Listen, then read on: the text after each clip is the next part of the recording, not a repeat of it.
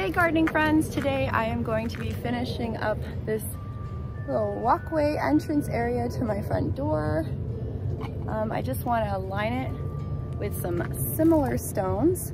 I bought these at Canlock just um, here in Ottawa and I found um, that they have a rough edge just like my old ones do, but a flat surface on top and um, they were totally the wrong size though, so I had Canlock cut them to the measurements that I figured out over here and I actually got the measurements almost perfect.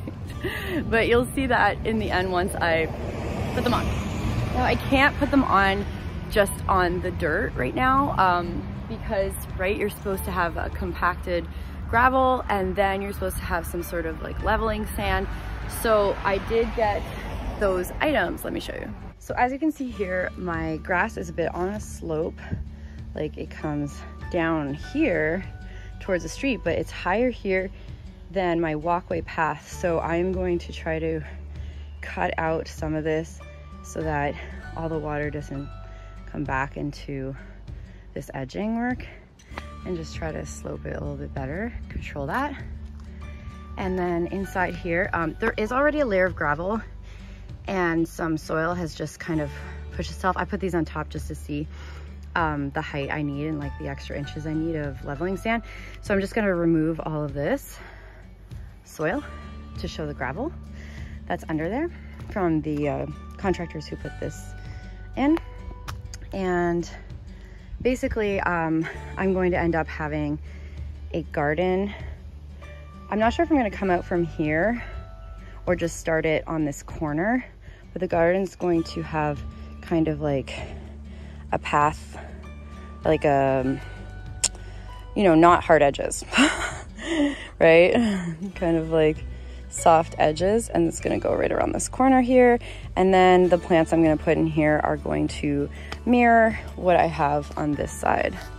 Oh yeah, this is what I bought at Home Depot, limestone screening. This was recommended um, to put on top of the gravel as a leveling base. So that's what I'm so gonna use. The plants I'm putting on this side will kind of mirror here, but I'm gonna, instead of putting limelight hydrangeas, I'm gonna put uh, five or six Bobo hydrangeas, which bloom a little bit earlier. And then I'm going to mirror the heucheras.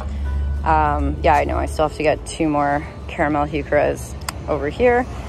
These sides are gonna match and it's gonna be more of a formal look in the front yard. These are the tools I'm using to dig up some grass. I have an edger. I have a fork. So that will, maybe, I might use that, I don't know. I've only ever used an edger before. I have this to um, turn up the soil if it's a little compacted from the stones on them.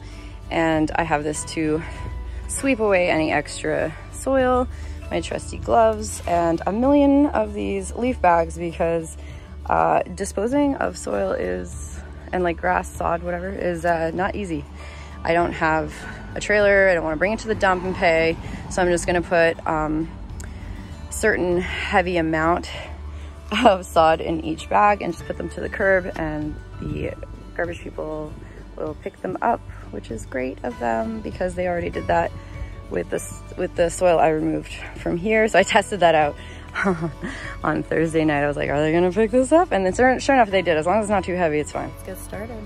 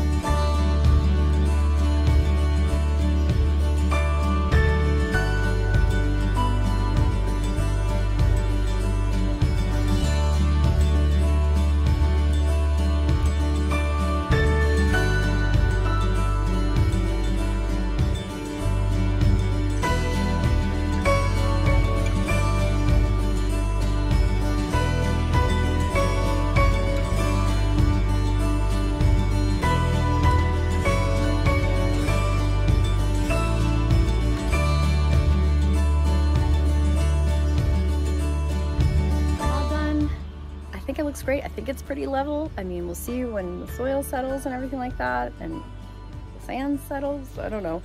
I did the best I could on the slope, but it's not perfect. Um, as you can see right here, the ground level is still pretty much, I would say almost exactly the same height as the coping stones. Oh yeah, I found out they're called coping, not capping. I mean, wouldn't they be called cap? Anyways, uh, so I didn't, I it was hurting so much to take that sod out that um, what I think I'm gonna do instead, because I can't just keep plopping a bunch of sod in bags over there, is I'm going to do the lasagna layering method to decompose all this grass in the flower bed of the shape that I want. And I'll do that another day. But um, I'm gonna put like newspaper and cardboard down and um, secure it with like um, just like my extra bricks that I have. And then once this all decomposes by the probably only end of the summer, I can kind of rake it out and slope it a little bit better, a little bit more um, amenable because it's so rooted. Like, I don't know if these are tree roots or something uh, from the past. I don't know, but they are, it's so hard to move the soil at the moment. Uh, so it's just a big, difficult job. But besides that, um, I'm going, I mean, it's so much lighter than this, but hey, it's what I could find. So these were actually um, 12 inches and I just needed them to be nine inches. And even though these are eight inches, I, when I measured it, I wanted it to come in a little bit more so that this edge is flat. So I made it nine inches and ended up being perfect. So I was like, yay me, because I kind of was guessing. And here, um, I, this is the part where I didn't measure properly. I don't know what happened here, but I missed like a huge gap. Like they didn't have to cut this one so short. It could have gone in, but I do have this spare one. And what I think I'll do with it is I will cut, chisel it, bring it to the store. I don't know, but I'm gonna make this shape here. And then I fill this in with bricks. Yeah, that's what I'll do. It's like a little awkward little corner here. So I think it's looking pretty good. I put some of that polymeric sand or whatever you call it. I can never get the name right. Uh, right here in this like gray black kind of color that actually my my neighbor Wes loaned me or not loaned me gave me some of that stuff which was very nice of him because I only had the brown color for my back yard and so I think that filled in the crack nicely like the other um, contractor that did this stuff, he put like a huge gap here. So it's not like, you know, it's fine.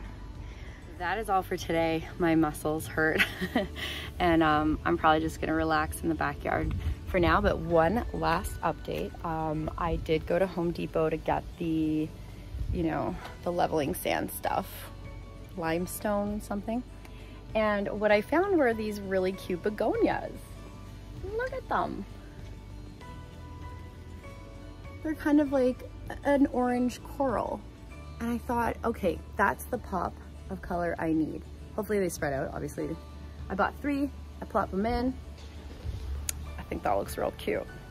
So I think I'm happy with the front now. Um, I just have to get rid of this grass. So much grass. So we'll see you in the next video and um, hopefully you have a wonderful weekend and my next video is going to be a little tour of the backyard. See you then.